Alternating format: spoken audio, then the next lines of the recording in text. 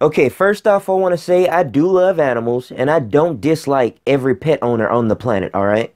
These are just the pet owners I find to be fucking obnoxious as shit. So if this video offends you or your pet or anybody you know that owns a pet, man, get the fuck on. I don't give a shit about you or how you feel. Okay, I absolutely hate this shit. People who talk to their dogs with that baby talk, mushy goo goo shit. It is so annoying and it's just overall awkward to sit there while they do some shit like that. Hey, you seen my dog Oscar? Look, he's such a cute little boy. He's I feel bad for the animal who has to sit there and deal with this insufferable crap. It's no wonder your dog, cat, or whatever hasn't just bit you in the fucking face or scratched you to death if you talk to them that way. But he's such a cute little doggy, doggy, doggy, doggy. The thing that really pisses me off though, these people, given enough time, will eventually just start to talk to everyone like that. Hey guy, what's up? You're just a cute little guy. You wanna hang out today? You wanna, man? What the fuck?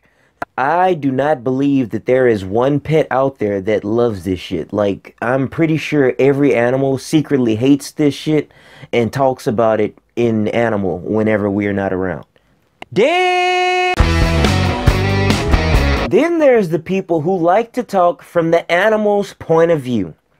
I've never understood why people talk in broken English when they're talking from the point of view of their damn pet okay, like say their pet or whatever wants a treat and they'll be like, I wants a treat.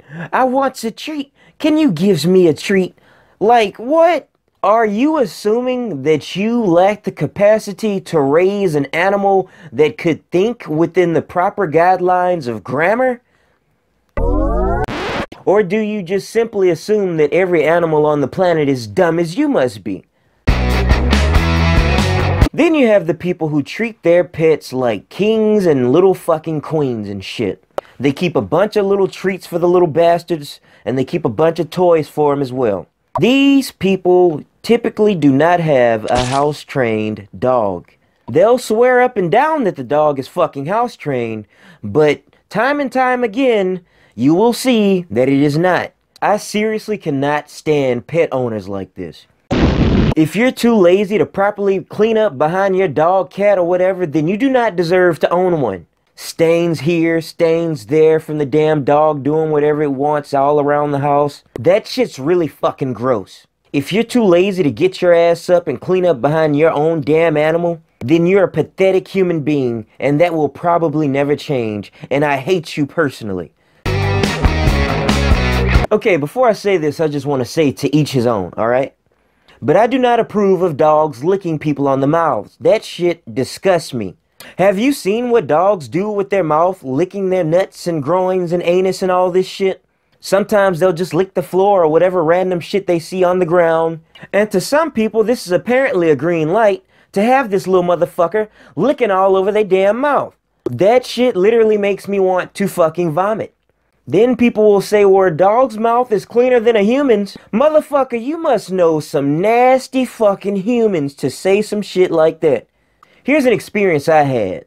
I went out on a date with this chick. The date was pretty fun. We actually got along really good. So she asked me to come back to her place with her, and I'm like, yeah, sure, why not, you know? So we're sitting there on a little sofa and we're talking and shit. And her dog comes from the back room or whatever, and he just sits up there on the couch by her, and you know, she starts to pet the dog and shit. Then the dog just starts licking her all on the mouth, and she's just okay with it, talking to the dog. Oh, you're you little cute dog and shit, you know, while the dog's licking her on the mouth, practically licking her fucking tongue. And I'm just sitting there fucking disgusted. Like, I have no idea what to say, but I'm going through every excuse in my mind on how to never talk to this bitch again. Then she had the nerve to lean over and try to kiss me moments after making out with her fucking dog. I fell off the couch backing away from this bitch. So I made up some phony excuse after that and got the fuck out of there. Alright, so don't judge me on this because I don't care what anybody else would have done. Alright, like I said, I find that shit disgusting.